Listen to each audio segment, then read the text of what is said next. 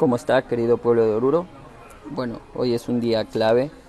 Hoy es un día en que se entregará nuestra plantilla a la Federación Boliviana, esperando sea aprobada.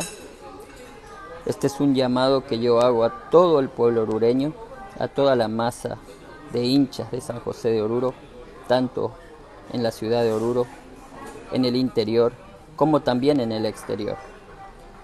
Creo que es hora, es hora de que entendamos que esto solo funciona con el aporte, con dinero, con tanta gente que quiere ser parte de nuestra historia, una historia que va a ser exitosa, pero no va a ser solo mía, va a ser de todo un pueblo.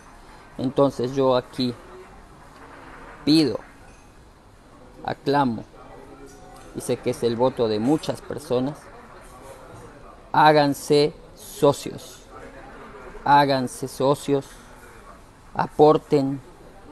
Para mí, un socio que toma decisiones no puede aportar menos de 50 dólares para que cambie, para que cambie de una vez por todas este equipo y este equipo no caiga.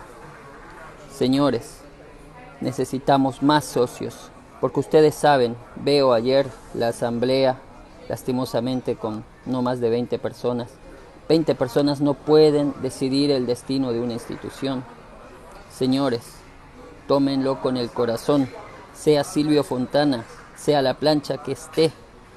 Esto es con aportes, basta de engañar a la gente. Uno va a poner mucho dinero para soportar los malos momentos y pagar deudas. Pero créanme que con su aporte, más que engrandecer y darle un respaldo económico a la institución, también nosotros vamos a tener posibilidades concretas de saber que hay gente que quiere el cambio. Porque si vamos a dejar que los votos sean solo de los socios o de un par de socios, ya conocemos la historia. Señores, se los digo con todo corazón, yo me encuentro en una posición muy tranquila, no tendría ni por qué hacerme drama. Pero créanme que vamos a ir para lograr el éxito.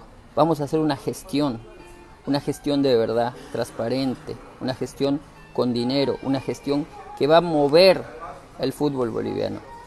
Yo no solamente me voy a meter a San José para poner mi imagen, yo a San José voy a demostrar cómo se maneja un club, cómo se puede hacer grandes cosas en una ciudad tan futbolera y tan pasional como Oruro.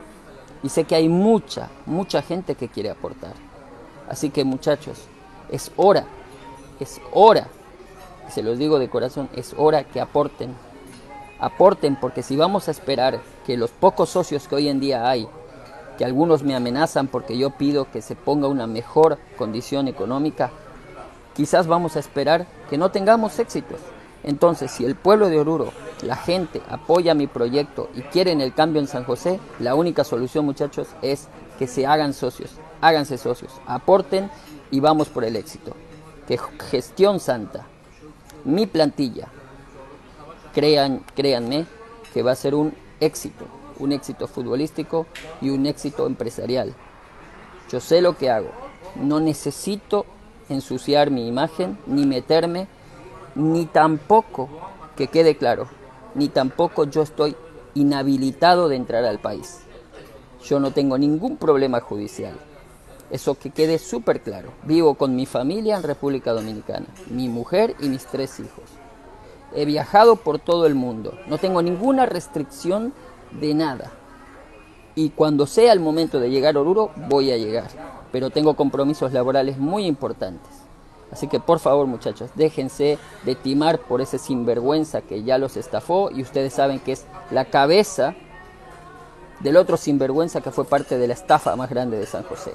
Créanme muchachos que cuando nosotros nos hacemos cargo, todos esos sinvergüenza van a pagar. Van a pagar. Pero esto es con la ayuda de todos ustedes. Aporten, háganse socios, socios, muchos más socios. Que sea un ejemplo San José de Oruro y demuestre que quieren el cambio de verdad les digo muchachos, si vamos a esperar unos cuantos socios nos den su voto, es muy riesgoso que este proyecto continúe. Les mando un abrazo y espero que con la bendición de Dios seamos una empresa que haga el cambio en el fútbol boliviano, una empresa que levante a un grande y no lo deje caer. Un abrazo para todos.